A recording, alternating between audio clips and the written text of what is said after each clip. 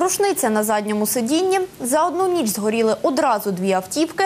На території заповідного фонду затримали бракод'єрів. Про ці та інші події у Запоріжжі та області далі коротко.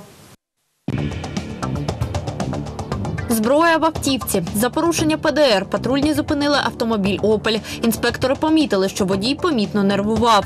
Під час огляду авто правоохоронці виявили на задньому сидінні рушницю. Звідки в нього вогнепальна зброя, водій пояснити не зміг. Та сказав, що дозволу на її носіння немає. Надалі ж поліцейські з'ясували, що ця рушниця ще в квітні була вкрадена із сейфу місцевого мешканця.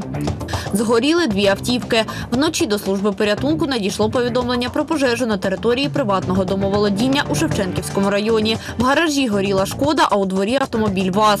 На те, щоб загасити пожежу, вогнеборцям знадобилося близько півгодини. Причина загоряння встановлюється.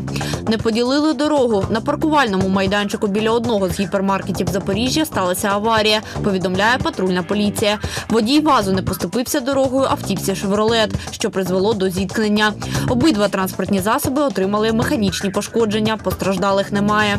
Незаконна риболовля. У селищі Приморський посад правоохоронці виявили двох браконьєрів. На території заповідного фонду чоловіки 84 та 85 років народження займалися незаконним виловом риби за допомогою ліскової сітки. Під час огляду їхнього човна було вилучено 5 калканів, одного пеленгаса та трьох азовських оселедців.